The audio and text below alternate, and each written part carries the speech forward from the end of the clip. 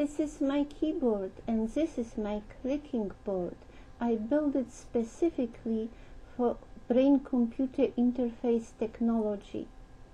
Please click on any of the icons on this board and get yourself familiar with the language of future, language of pictures and motions and music.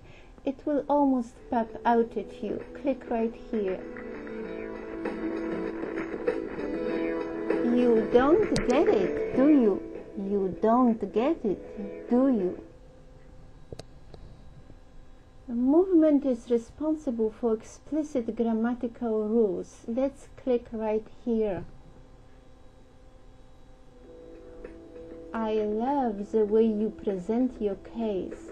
I love the way you present it. So straightforward. I was watching you. I was watching you. I was watching you.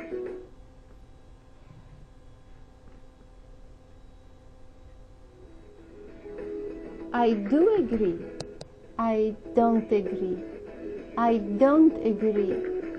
I don't agree with the way you present your case. Ah, uh, ah, uh, ah, uh. Let's try one more. Let's click here.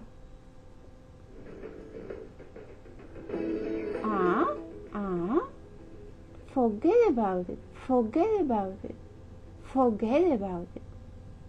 Motion and vision, such explicit meaning, the visual language brings new possibilities to brain computer interface. Humans can talk in full sentences when movement provides explicit grammatical rules.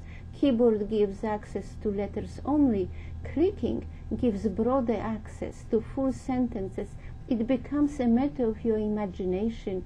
It can be as large as a building and grow even larger. Don't throw your keyboard out the window yet, but do try clicking on sentences. One day you will imagine a thought, a full thought, and it will be spoken.